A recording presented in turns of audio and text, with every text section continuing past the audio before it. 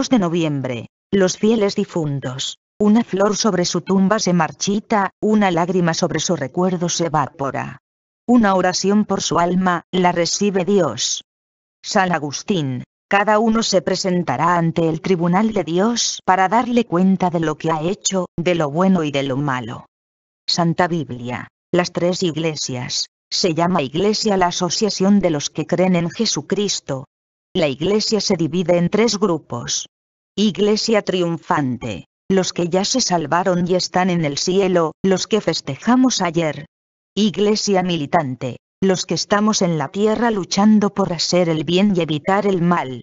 E Iglesia sufriente. Los que están en el purgatorio purificándose de sus pecados, de las manchas que afean su alma. El Catecismo de la Iglesia Católica, publicado por el Papa Juan Pablo II en 1992, es un texto de máxima autoridad para todos los católicos del mundo y dice cinco cosas acerca del purgatorio. Primera. Los que mueren en gracia y amistad de Dios pero no perfectamente purificados, sufren después de su muerte una purificación, para obtener la completa hermosura de su alma. 1030. Segunda la Iglesia llama purgatorio a esa purificación, y ha hablado de ella en el concilio de Florencia y en el concilio de Trento. La Iglesia para hablar de que será como un fuego purificador, se basa en aquella frase de San Pablo que dice, la obra de cada uno quedará al descubierto, el día en que pasen por fuego. Las obras que cada cual ha hecho se probarán en el fuego. Un cor. 3, 14. Tercera. La práctica de orar por los difuntos es sumamente antigua.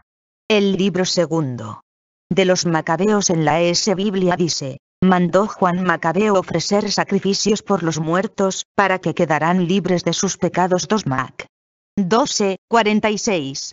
Cuarta.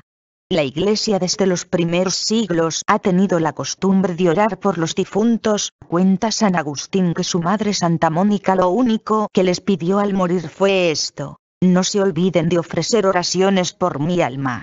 Quinta. San Gregorio Magno afirma, si Jesucristo dijo que hay faltas que no serán perdonadas ni en este mundo ni en el otro, es señal de que hay faltas que sí son perdonadas en el otro mundo.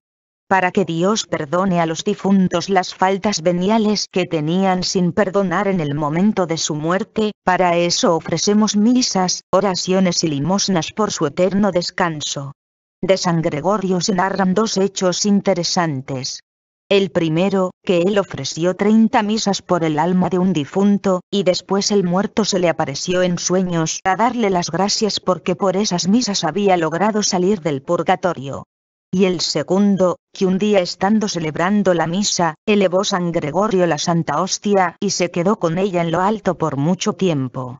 Sus ayudantes le preguntaron después por qué se había quedado tanto tiempo con la hostia elevada en sus manos, y les respondió, es que vi que mientras ofrecía la Santa Hostia a Dios, descansaban las benditas almas del purgatorio. Desde tiempos de San Gregorio, año 600, se ha popularizado mucho en la Iglesia Católica la costumbre de ofrecer misas por el descanso de las benditas almas. La respuesta de San Agustín, a este gran santo le preguntó uno, ¿cuánto rezarán por mí cuando yo me haya muerto? Y él le respondió, eso depende de cuánto rezas tú por los difuntos. Porque el Evangelio dice que la medida que cada uno emplea para dar a los demás, esa medida se empleará para darle a él.